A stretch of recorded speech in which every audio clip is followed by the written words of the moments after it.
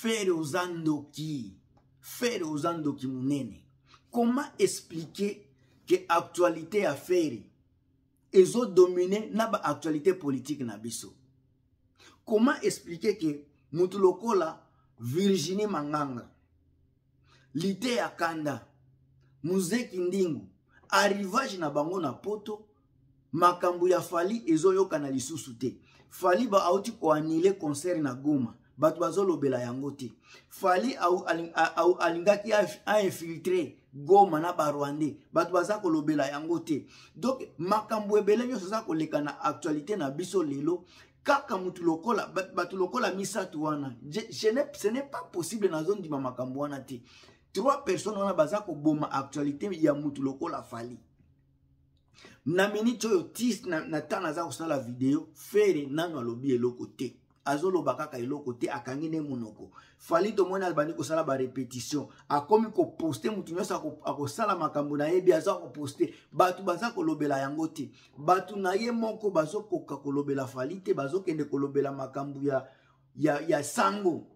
sango motu bakangi baarrete ba, émission na ye mpo na makambo ya mboso me banani ba, ba, ba, bawari bakomi kolata makambo yango ndire ya bango kele confusion oyo fere akomi kotia na makambo na biso ya congo Adidas Arena na ba oyo nano bayebi te etikali 212 billets 212 billets oyo etikali mpo na sold out sika ba oyo baza na posa mpena ya kokende koyoka miziki ya bien soki lelo makambo nyonso ekomi na nkombo ya, fe, ya feregola se parce que adidas arena esimbaki soki lelo bato nyonso baza nsima ya fere gola se parce que adidas wana ezalaki canon awa confirmation tozozela eza nini genève suisse wana nde place ya confirmation ya solo ya retour ya fere gola si le chequet international après 14 ans après 14 ans ya absence donc fere aza mutu donc nayebi te so naloba nini bandeko na nga banani ba, ba christelle mm ba arial biatoari ba ane, ane, ane mbala naza na bandeko na nga nani nani joel ndelo bandeko na nga eske na poto esika boza baaktualité oyo fere aza komema aza kotambwisa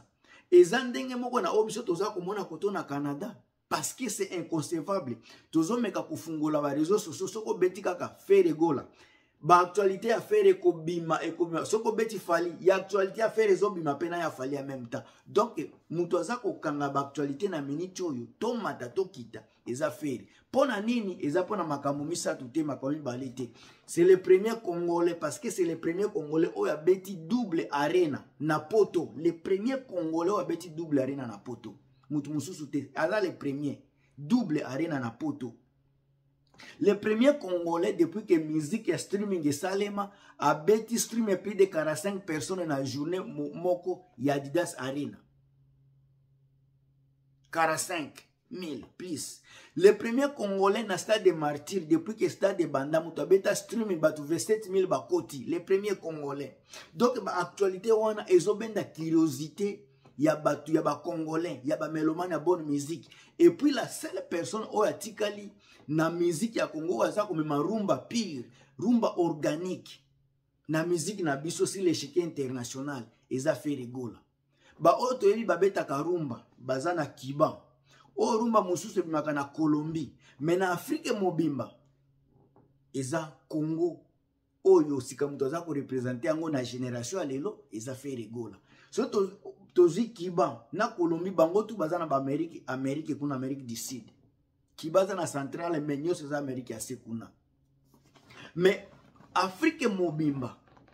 fere aza na somo te ke ye mpe akende na ba, na ba coupe dekale azwa bambongo ba, ba ya mbangu mbangu aza na yango te me aza na mposa amemela biso rumba or, original rumba pure rumba traditionnel oyo tozomona lelo eza kokende mbilinga mbilinga na baplace nyonso bato soki baza kolobela fere eza mpona bakambo ebele te eza mpona rumba wana epuis savoir faire na ye bapuissance artistique oyo alakisi na monde ke il est aussi là soki baza kotanga bamusicien misusu batanga mpe ye nkombo na ye mpe ezala yango bozomona actualité lelo na monde ekomi na miziki ekomi na, ba, na maboko ya feregola soki tozongi nsima e toza koloba empire de mal empire de mal oyo tozolobela chaque jour empire de mal empire de mal empire de mal bato wana aya moment donné bazalaki bato ya bazali pembeni ya eritio atanabe un moment donné e, eritio atanabe amoni ke bato oyo na kalite ya miziki oyo naza kopesa ça ne sert à rien nazala pembeni na bango nabengana bango ere abengani bango nde toye komona ndeko na biso danser oyo naza kosenga nanu fere arecrute ye mpo na danse fere gola nayebi ke okotala baemission oyo te mais soki ozwi chance ya kotala emission oyo s'il vous plaît le padre recrute fali pupa mpo aya kobina na concert na yo invite fali pupa mpo nano abeta concert na, na, na genève te aya ata kobeta akoma ata nani azala ata danser ekosala mpe bien mais alors mpo nazonga na place oyo nazalaki euh, musicien oyo aza kopesa lokumu ya congo musicien oyo aza kovalorize musique ya congo comme il faut il faut tosoutenir ye il faut kosoutenir baevre na ye malgré ke bacalomnie ezokɔta na miziki lelo vie na biso pa paroles nabengi ye vie parce que naza sur que aza mokolo mingi devant nga ndeko na nga wana akomi kozwa komi kokɔta na songisongi mpo na kodetruire promotion na bamisio ya bato oyo baza na mposa bakende koyoka la bonne musique na miniti oyo fere na pa besoin ya polemique na miniti oyo fere na pas besoin ya balobaki boye ekendeki boye ezongi boye fere na pas besoin de ça na bao baza koyamba makambo likolo likolo koya kosakola koya kobanda kofingafinga fere na pas besoin de ça moto oyo aza na mposa ya kosoutenir fere na ndenge ya bien bolobela fere bomeka kosensibilize bato oyo baza na mposa kokende koyoka miziki ya fere bakende koyoka miziki bana allemagne baza wana baza mpe na volonté ya kokende bana belgique baza mpe na volonté ya kokende eza nde sika motivation na bino botika distraction ya bapaparos botika distraction ya motu lokola era ya koloba ke wera ya kosenga pardon botika badistraction wana bozala focalize na concert ya, ya nini ya u arena parce que soki fere aresire concert wana bino bozomona makambo oyo ngai naza komona te bino bozomona baanalyse oyo ngai naza komona te soki fere aresire analyse aresire concert wana bagolois bokozala bokozala surpris na makambo ebele parce que concert wana soki eresir ekomatisa fere golaska na position botala mutu oyo danser na biso fali pupa depuis akoma abanda kobeta baconcert na absence ya fere mal abeta abeta abeta matikala jamais koconvaincre bato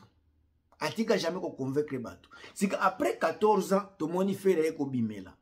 me sika fere ya concert oyo eza neti curiosité après 14 ans akomemela biso nini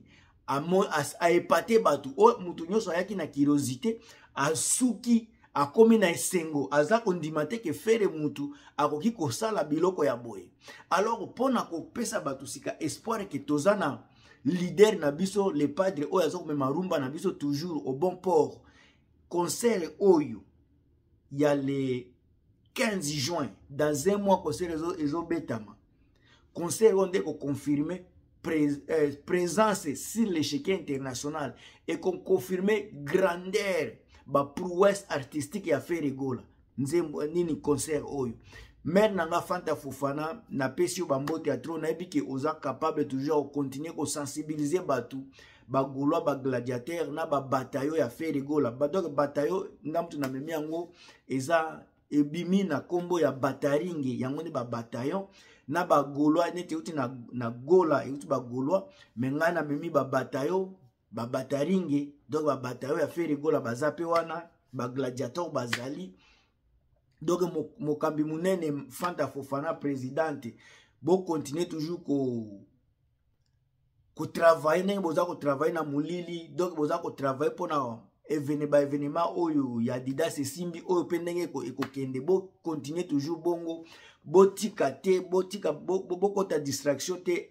papa rosi asala makambo ya bien asala ya mabe donc distraction wana ekota te essentiel ke fere abeta atondisa parce que na minute oyo asi alekisi déjà 65 pourcent mpo na nga eza deja resite fere akobeta bato bafinga bafinga te baloba baloba te mpo na nga tozomonaka nde fere ndenge ya kotelema na podium wana ya geneva arena akopesela biso banzembo lokola bamameillere chemise wana chanson nanga préféré epuis regard de moi eza chanson oyo motu nyonso elekelaka ye congolais nyonso elekelaka ye soki ayoki regard de moi na ebandeli bato bazali kobimisama ya miso mpo na nzembo wana faso fere ayembelaki na faso amemelaki biso na dimension wana eza ti lelo inexplicable tomonaki yango mpe na concert lisusu ye na barbara pravi ndenge basalaki dio wana fere aza kolia mundele na mboka na ye moko fere alie bavie misusu wana bayaki bainvite koleka ye moko donk ezolakisa ke mutu na ndako na ye azalaka toujours fort malgré bainvité oyo bazalaki wana fere amontre ke aza fort koleka bango contrairement na mutu na biso danser fali pupa bato bazalaki kuna baza kobinabina bango tu bato ya baototune moye bayemba mpe eloko ya malonga eza te kaka kobinabina loketo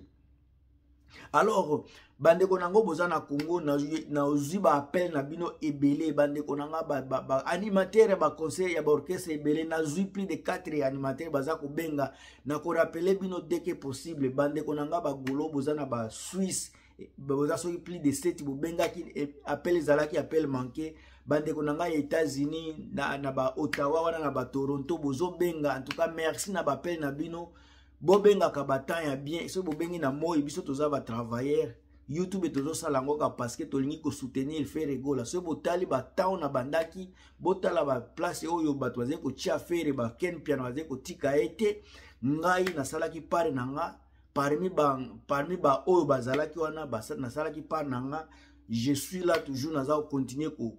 sala part na nga parce que soki naza kolobela fere eza mpo na mbongo te eza parce que eza mpo na baevre na ye mosala oyo aza kosala na miziki ya congo ce n'est pas donné à n'importe qui lelo bato nyonso bakomi kokima miziki mpo na kaka bambongo baza kowela mbongo parce que bambongo bamiziki ba commerciale wana eza kopesa mbongo bambongo rapide mais fere gola aza kobule aza kokanisa akotika nini après 5 ans ifo banzembo na ye ekontinue kobeta lelo toza na peu près ba plus de 10 ans bazazu eza kobeta toza na plus de ba 8 ans uh, tozoyoka banzembo ba lokola nini